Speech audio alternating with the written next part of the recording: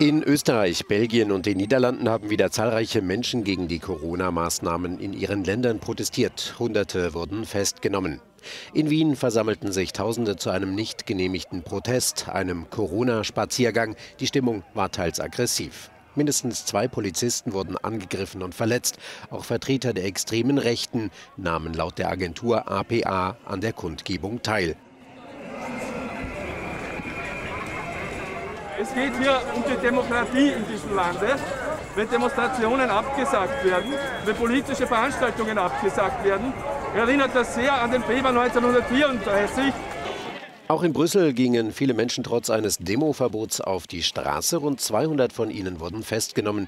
Die Polizei war mit einem Großaufgebot vor Ort, da sie Ausschreitungen wie in den benachbarten Niederlanden befürchtete.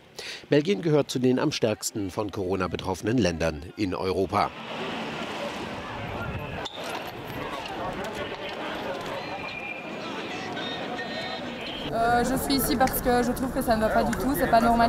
Ich bin hier, weil ich es nicht richtig finde, was hier wegen eines Virus veranstaltet wird, das überhaupt nicht so viele Menschen umbringt.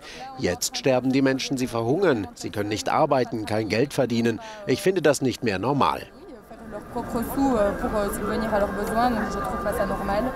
Vergangene Woche war es in den Niederlanden wiederholt zu massiven Ausschreitungen gekommen. Die Polizei zeigte daher jetzt umso stärkere Präsenz. Eine überwiegend friedliche, aber verbotene Demo wurde abgebrochen.